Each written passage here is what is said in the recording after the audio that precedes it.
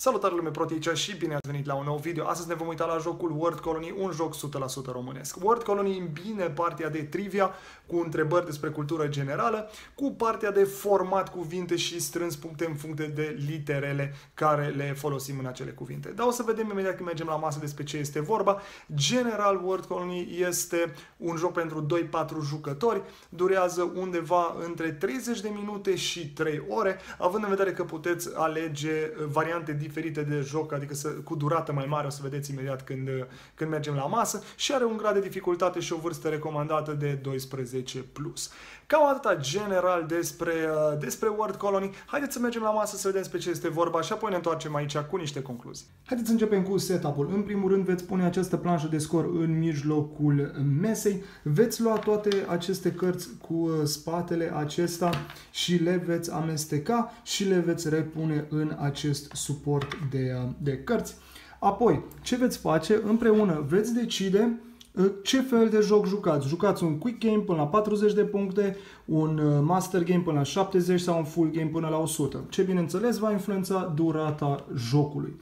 Apoi, fiecare jucător va primi patru astfel de cărți pe culoare aleasă, A, B, C, D, pentru a răspunde în secret pe parcursul jocului la întrebări și va primi un jeton care îl va plasa la startul jocului. Bineînțeles, există uh, astfel de cartonașe de răspuns pentru toate culorile care mai sunt în joc și, bineînțeles, și acestele jetoane de punctaj. După ce s-a întâmplat acest lucru, fiecare jucător are lucrurile de pe culoarea sa și ați pus aceste elemente în mijlocul mesei, veți extrage aleatoriu fiecare jucător 5 cărți din această grămadă. Eu le-am tras în, înainte deja și astea sunt cărțile cu care fiecare jucător respectiv va avea cele 5 cărți ale lui care le ține secret și cu ele va începe jocul. Apoi mai trebuie decis cine este primul în acea rundă și ce se va face?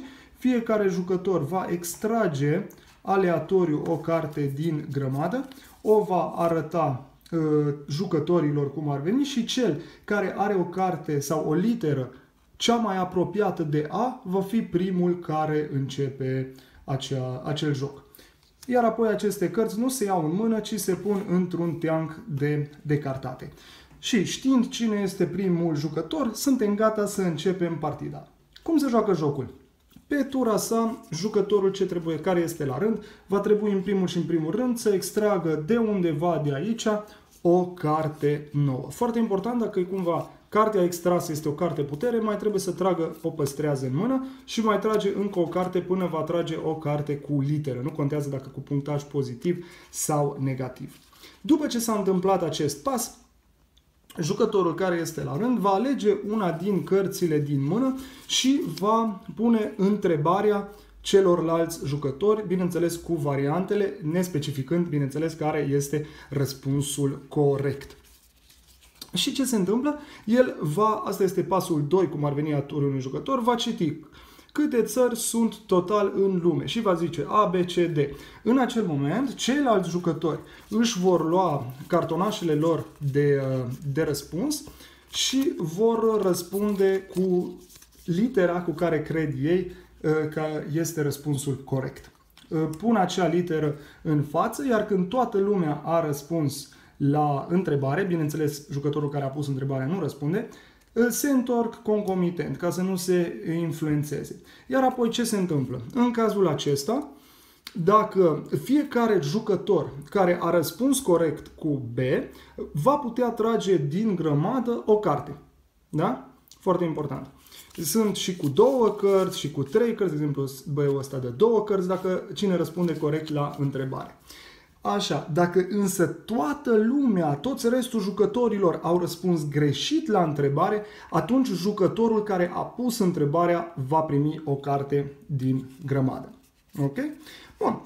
După ce s-a întâmplat acest lucru, se va trece la următorul pas. Dar înainte să trecem la următorul pas, mai vreau să menționez aceste uh, cartonașe cu punctaj negativ, să-i spunem așa. Aici ce se întâmplă? Dacă această întrebare este pusă, nu trebuie să menționați că este cu punctaj negativ, dar uh, jucătorii care răspund corect la întrebare nu primesc nicio carte, nu se întâmplă nimic. Însă jucătorii care răspund greșit la întrebare primesc minus două puncte. Deci observați diferența. Aici, cine răspunde corect trage o carte și dacă toată lumea răspunde greșit, trage jucătorul care a pus o întrebare o carte, cei care răspund greșit nu primesc nimic. Aici cei care răspund greșit primesc minus două puncte și ceilalți nu primesc nimic. În cazul acestei întrebări nu se întâmplă nimic cu jucătorul care citește întrebarea. Bun, deci s-a citit întrebarea, jucătorii au răspuns, s-au tras cărțile cum, uh, o, cum, respectiv cine a răspuns corect sau jucătorul care a pus întrebarea dacă nimeni n-a răspuns corect. Și trecem la următorul pas. Și următorul pas este să formezi cuvinte, adică jucătorul care este la rând poate să formeze cuvinte sau să joace aceste cărți uh, de, de putere. Observați, sunt foarte bine Uh, descrise, deci o să vă vedeți exact ce se întâmplă cu acele cărți. Și ce o să faceți? O să formați cuvinte cu literele care le aveți în mână, inclusiv, bineînțeles, întrebarea care, cartea cu întrebarea care ați, uh, ați pus-o. Și hai să vedem ce avem noi aici. Am putea face, de exemplu, un cuvânt oră. Da? Și ne uităm exact, ok, câte puncte sunt? Sunt 3 puncte, deci O, R, A. Da? Și mutăm cu acest jeton 3 puncte fiecare jucător își va forma cuvinte în fața sa. Acum, foarte important, poți să faci câte cuvinte poți sau câte cuvinte ai, în, ai posibilitatea să le creezi cu cărțile din mână. Ce mai este foarte important de menționat în momentul când formăm uh, cuvinte? Acum, ca să exemplific, probabil o să creez niște cuvinte inexistente, doar, dar ca să vedeți exact ce și cum. Deci punctajul de aici, cum spuneam, în funcție de cuvântul care îl uh, formați, vă luați punctele imediat cum ați făcut uh, cuvântul. Ce puteți să faceți? Bineînțeles, puteți uh, pune, adăuga la cuvintele adversarilor. Asta ce înseamnă? O ra și să spunem că ăsta ar fi un r. Dacă eu aș, să spunem că uh, acest cuvânt este la unul din oponenți și aș pune un r aici, da? Să spunem că ăsta e un r aș primi minus 2 puncte. Deci probabil n-aș vrea să fac. Deci asta foarte important să observați. Dacă folosiți aceste cărți cu minus puncte în formarea cuvintelor, veți scădea două puncte. Deci dacă aș fi folosit așa, să presupunem că asta este un cuvânt, aș fi avut 1 plus 1 minus 2, deci 0 puncte. Și ce am vrut să subliniez este că puteți completa sau extinde cuvinte și la, și la cuvintele uh, adversarilor, să spunem așa. Acum, o altă variantă care o, o aveți este să furați cuvinte. Asta cum se întâmplă? Dacă extindeți, da? Dacă extindeți un cuvânt, de exemplu, mai puneți aici o rarul, să spunem așa, și r-u-l ar fi mai multe puncte decât cuvântul acesta, atunci voi veți fura cuvântul din fața Uh, adversarului și îl veți lua ca orarul, ca cuvânt complet la voi. Și asta ce va presupune? Că jucătorul care pierde cuvântul va scădea atâte puncte din uh, punctajul lui și celălalt jucător își va pune acele puncte la el. Însă, dacă nu furați cuvântul și doar adăugați ceva în plus cuvântului de la un uh, adversar, primiți doar punctele adăugate și adversarul nu pierde niciun punct. Deci, practic, dacă ar pune cineva aici b ăsta, ar primi două puncte, dar eu nu le-aș pierde pe cele trei, decât dacă îmi fură acel cuvânt. O altă variantă de a fura cuvântul este să înceapă un cuvânt în colonia de cuvinte, și o să discutăm imediat ce este ea, iarăși cu mai multe puncte decât cuvântul inițial. Deci dacă eu aș începe o colonie așa în jos, da? așa, și aș avea Uh, aș adăuga mai multe puncte în jos, deci A, B, nu știu ce, uh, atunci iar aș fura cuvântul respectiv și aș avea eu acel start de colonie. Ce este cu, deci practic ori puteți continua un cuvânt și să-l furați sau să primiți puncte, ori începeți cuvinte în colonie dacă primul, deci doar cuvintele singuratice pot fi furate. Dacă exista deja o colonie, asta este o colonie și o să discutăm noi despre ea, nu mai ar putea nimeni să fure acest, acest cuvânt, aceste cuvinte, cum ar veni. Ok. Deci, practic, asta este cu furatul cuvântului. Ce posibilități uh, mai aveți? Este, bineînțeles, cum am spus, să porniți colonii. Voi puteți face mai multe cuvinte individuale în fața voastră, deci nu aveți restricții acolo, dar probabil o să preferați să uh, creați colonii, fiindcă o să vă dea puncte în plus și vă protejați cuvintele, nu mai pot fi furate. Deci dacă eu aș mai pune aici pe tura, pe tura mea, atunci, practic, aș fi protejat. Alt jucător nu poate să fure, fiindcă este deja o colonie. Mai mult de un cuvânt combinat este o colonie. Foarte important, dacă iarăși vine tura mea, eu pot să lucrez în continuare la colonia mea, deci nu sunt uh, obligat. Dar întotdeauna trebuie să formez un cuvânt complet. Deci nu pot să pun O și tura viitoare R și după aia A. Deci trebuie să fac un cuvânt. De exemplu, a, acum, as, da? As. Ar mai fi un cuvânt, da? E ok. Și așa, încet, încet dau drumul la colonie. Ideea este că aceste colonii se pot face doar ultimul, ultima literă de la ultimul cuvânt va fi prima literă de la următorul cuvânt. Deci, în cazul ăsta, eu pot să fac un cuvânt doar începând cu A. Și dacă am folosit as, așa, acum pot ori să continui în jos cu asasin sau să pun altcineva, sau uh, pot să mai fac un rând în acea colonie și să spunem că există SB cuvântul și aș merge în direcția asta. Dar întotdeauna trebuie să încep cuvântul cu ultima literă din, din cuvânt. Îmi iau punctajul, tot ce discutaseră. Și tot așa puteți forma acele colonii. Ce puncte vă dă în plus dacă faceți, sau de ce ați lucrat la acele colonii? Dacă aveți 5 elemente într-o colonie, adică o supercolonie, aici avem un element, două elemente, trei elemente, da? Una, două, trei. Practic trei cuvinte. Când veți avea 5 elemente într-o colonie, va fi o super colonie și veți primi 5 puncte bonus în acel moment. Dacă reușiți să faceți 10 elemente într-o colonie, se va activa decol- decolonizarea. Aia înseamnă că ultimul cuvânt format, să zicem că ăsta este, va rămâne, restul cărților se iau și se, uh, se decartează. Și ce se va mai întâmpla? Când veți face aceea decolonizare, veți primi încă o dată punctajul primului cuvânt, adică punctajul cuvântului inițial. Poate de aia e interesant să începeți întotdeauna cu un cuvânt mai mare, una la mână, dacă ajungeți la 10 elemente ca să primiți încă o dată punctajul de acolo și în al doilea rând, dacă aveți un punctaj mare, este mai greu de furat cuvântul.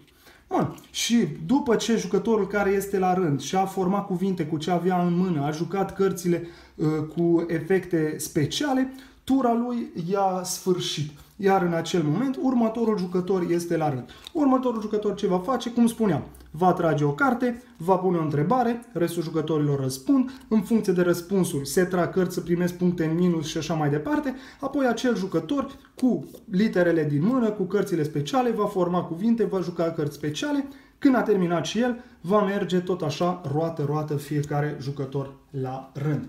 Iar aceste jetoane vor tot merge, merge, merge, merge, până când primul jucător ajunge la 40 de puncte. Și în acel moment, acel jucător a câștigat. Deci este un joc tip cursă. Foarte important, dacă aveți cărți cu puncte în minus, dacă aveți cărți cu puncte în plus, ele nu valorează nimica, având în vedere că doar cărțile jucate în uh, cuvinte pe masă se punctează aici. Dar punctele minus trebuie să vă scăpați de ele. De ce? Fiindcă în momentul când ajungeți la 40 de puncte, ele vă vor scă... toate punctele minus care le aveți vor trebui scăzute. Deci, practic, eu dacă țin pâul ăsta în mână și nu pot să scap de el, voi avea nevoie de 42 de puncte pentru a câștiga jocul și a anunța că s-a terminat.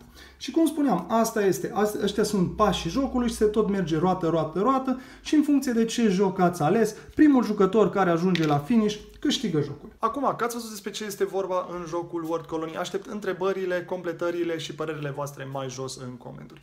Din punctul meu de vedere, este un joc care îmbină foarte interesant partea aceasta de trivia și partea de formare de cuvinte și în același timp poate fi foarte ușor folosit ca și un joc educațional. De ce? Una la mână sunt acele întrebări de cultură generală care practic răspunzând la ele înveți ceva nou și în același timp lucrezi să îți formezi acele cuvinte, deci practic lucrezi la vocabular și așa mai departe pentru a găsi cuvintele ideale. Deci de asta spun că poate fi foarte bine folosit ca și un element educațional, dar în același timp este și foarte distractiv, având în vedere că sunt și acele cărți speciale care trebuie să te gândești când cum să le, să le joci.